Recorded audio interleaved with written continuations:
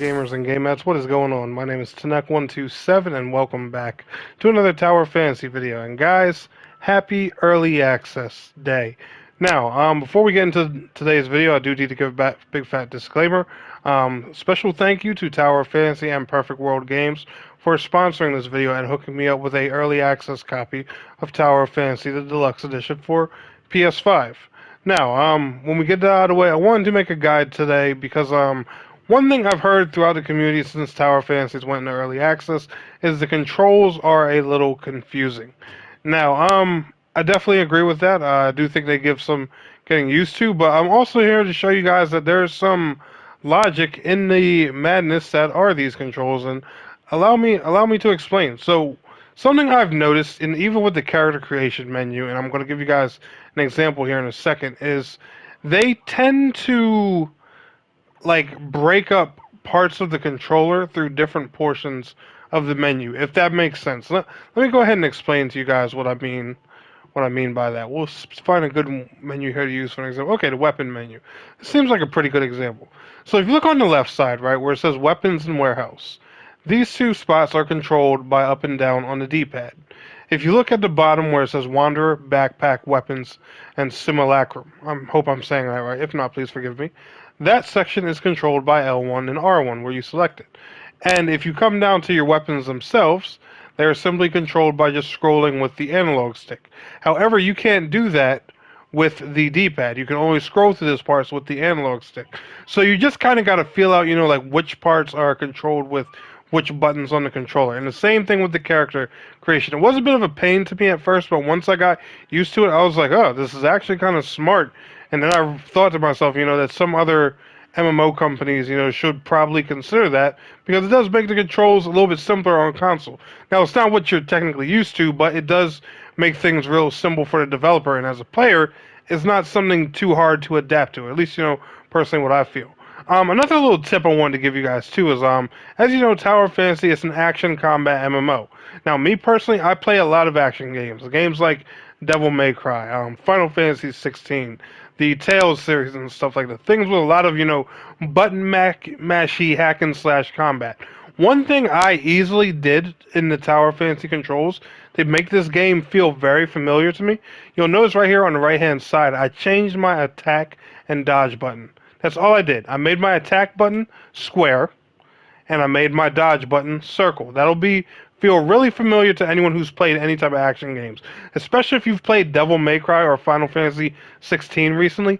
Yeah, that'll feel awfully familiar to you. Now, let's talk about some things here with the UI and show you guys, you know, what's what. So first off, if you hit the options button, you can pretty much access anything. And if you don't have all these options, relax. You can access everything by just playing through the story. All the options will come here as you play through the story. Even the little goodies and stuff like that that you got with your pre-order bonuses, you get them through playing the story. They'll but a good portion of them they'll be right here in your backpack just so you guys know a lot of people who are wondering you know where's the playstation exclusive outfit well if you look here on the screen in the inventory you'll see where it says outfits right there at the bottom just push square and you can access your outfits and the one uh, playstation exclusive outfit i got there you go. It's right there, simple. Press triangle to use it. Now, but yeah, like I said, guys, a lot of options. You know, they're all um, they're all right here. The settings menu, social networking, if you want to add friends and, and all that and all that fun stuff. That's all. That's all all here. Special orders, you know, when you want to um, get more gacha characters and all that fun stuff. It'll all be here as you, you know, just progress through the beginning of the story. It all unlocks, so don't worry about that. Now, last but not least, one other thing you guys are probably wondering is how do you play with friends? How do you um, swap channels? How do you talk in the text chat and stuff like that? Well, there's actually another menu that's kind of hidden here on the screen that they don't really talk about. That menu is simply brought up by holding L1. Oh yeah, now you got a lot more options here that you can see how you can zoom in and out. You can hide your summoner your summon or hide your cursor and stuff like that. You can access your mail. You can also check on some of the other events, login events that are in the game. Yeah, hold L1 square so you guys can get, you know, those beautiful little red jades for, for summoning. Um, this will actually even bring up the SSR menus, menus again and stuff like that. But if you want to um, access the chat, just simply hold L1 and you guys will see this little section right here on the left. If you hold L1 and just push down on the chat, this brings the um the chat up right right here. There's the world section.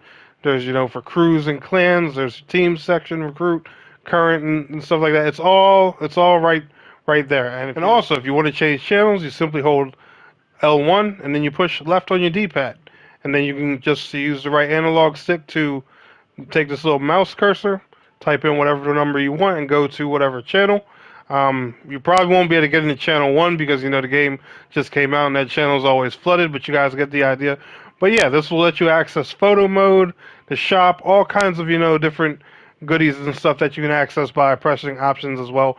It's you know it's, it's kind of just you know an alternate fast version of the menu for those who don't want to scroll through the through the options thing. But like I said, guys, they always just seem to split things up with these menus through different parts of the controller. For example, again, even when you hit options, when you scroll through these spots right here, you do it with the um with either the D-pad or the right analog stick. You'll notice that the left analog stick doesn't let you scroll through the options. It just moves my character. But if I use the right analog stick or the D-pad, it lets me go through the options. You just have to go through the menus and see, look around. I know it's a bit tedious, but you just have to look around and see how exactly they have everything split up. And I promise you, once you get used to it, you'll find that this system is actually pretty easy. But anyway, guys, if you got any more questions for me or anything that you want to know on how to do in the game, be sure to leave them down in the comments below. I'll get to them the best I can. Y'all enjoyed today's video and it helped you, smash that like button. If you're new here, subscribe. I will see y'all in the next one. Peace out. Have a good one.